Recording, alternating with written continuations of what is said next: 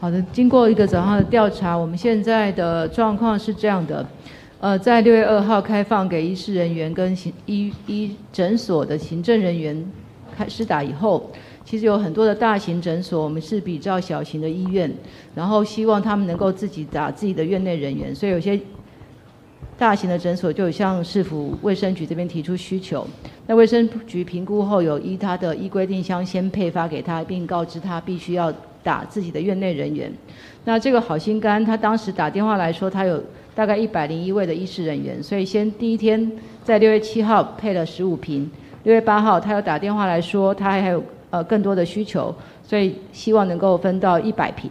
那我们卫生局的同仁他就。依照他的需求，先拨给他一百瓶，总共拨给他的一百一十五瓶。那今天早上去稽查的结果呢？因为这个时间都只能打第一类到第三类的医师跟防疫人员，所以我们今天稽查的结果，他六月七号第一批的五十五瓶，他事先有造册，有七十七人施打。那大部分的造册人员已经在院外有施打过，所以他们把诊所领用的十五瓶开放给。基金会跟诊所的志工施打，共施打了一百七十二人。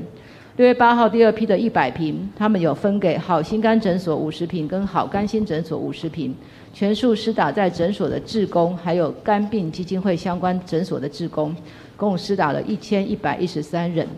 那今天早上稽查的结果，显然在我们要求他们依照第一类到第三类的医师人员。有一大部分是不符合相关规范的，所以依照《传染病防治法》第二十九条第一项，医疗机构应该配合中央主管机关订定的预防接种政策，违反的话要处三十万到两百万的罚款。所以我们今天会处以最高罚款两百万元。那另外我们会取消相关的和本来是希望他们能够做预约预约的合约诊所这个资格，我们也把它取消。